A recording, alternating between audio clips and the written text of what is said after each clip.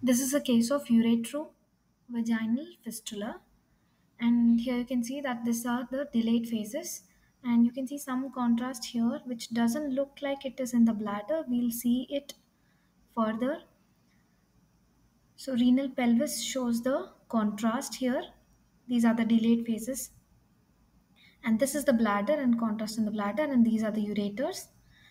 As we move down and trace the ureters, we can see that right ureter is here and the left ureter is sort of irregular with some peritoneal leak of contrast. There is periureteric contrast leak and there is irregularity of the ureteric wall and this contrast pooling here is nothing but it's in the vagina. So this is a post-operative case following hysterectomy and these are the axial sections. Here we can see that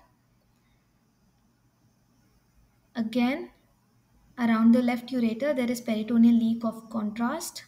This is the periureteric contrast leak, and the ureter looks irregular with some leak of contrast here again in the pelvis in perivesical region and the so a thin track you can see not very well visualized but here now you can see this is the tract joining the ureter and the vagina it's an iatrogenic ureterovaginal fistula.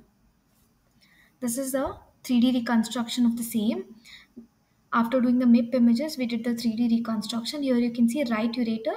The contrast is not very well filled, but the left ureter, you can see the periureteric contrast and irregularity of ureter. And this here, foci, whatever you can see, that is the contrast within the vaginal canal. Here you, you can see that it's not within the bladder so that contrast which is not in the bladder is in the vagina and the tract is not well visualized in the 3D sections.